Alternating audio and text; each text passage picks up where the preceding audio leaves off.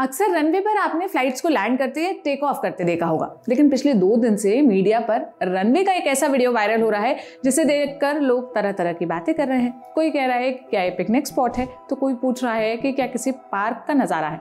हालाँकि पीछे खड़ा इंडिगो का एक प्लेन ये साफ़ ज़ाहिर कर रहा है कि कोई पार्क या पिकनिक स्पॉट नहीं है, ये एक रनवे है। मामला सिर्फ़ रनवे पर खाना खाने या बैठने का नहीं है। ये मामला है सैकड़ों लोगों की जान को लेकर लापरवाही का।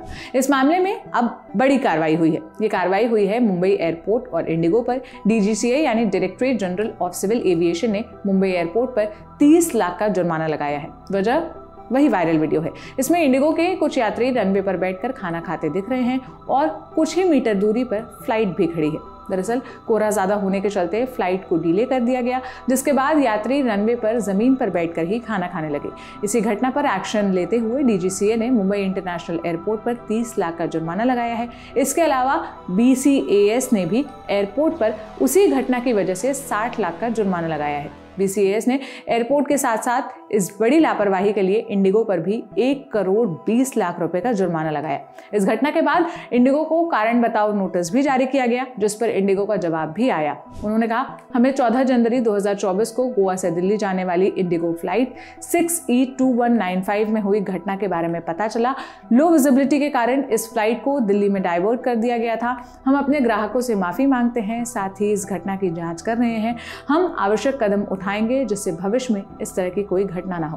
कुल मिलाकर इंडिगो पर एक करोड़ बीस लाख रुपए का और मुंबई एयरपोर्ट पर नब्बे लाख रुपए का जुर्माना लगा है। इंडिगो और मुंबई एयरपोर्ट के अलावा डीजीसीए ने स्पाइस जेट और एयर इंडिया पर भी तीस तीस लाख का जुर्माना लगाया है। इसका कारण भी मैनेजमेंट में लापरवाही बताई गई। दरअसल, इन फ्लाइट्स में सी ए टी थ्री प्रशिक्षित पायलट मौजूद नहीं थे, जो लो विजिबिलिटी में भी प्लेन उड़ा सकते हैं। रनवे वाले वीडियो और उस पर हुई कार्रवाई के अलावा एयरलाइंस से और भी कई तरह की वीडियो सामने आई है। 14 जनवरी को इंडिगो का एक वीडियो जमकर वायरल हुआ।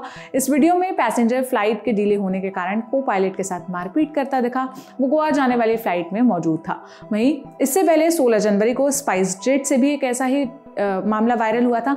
इसमें पैसेंजर फ़्लाइट के टॉयलेट में फंस गया और मतलब लॉक हो गया। और लॉक में गड़बड़ी होने की वजह से वो यात्री अंदर फंसा रह गया। पैसेंजर को लैंडिंग के बाद बाहर निकाला गया। हद तो तब हो गई जब एक क्रू मेंबर ने पैसेंजर को टॉयलेट से बाहर ही एक लेटर पकड़ा दिया, जिसमें लिखा था, सर, हमने दरवाज़ा खोलने के लिए अपनी पूरी कोशिश की, हालाँकि हम नहीं खोल सके, घबराए नहीं, हम कुछ ही मिनटों में लैंडिंग कर रहे हैं, इसलिए कृपया कमोड का ढक्कन खोलें और उस पर बैठें और खुद को सुरक्षित रखें।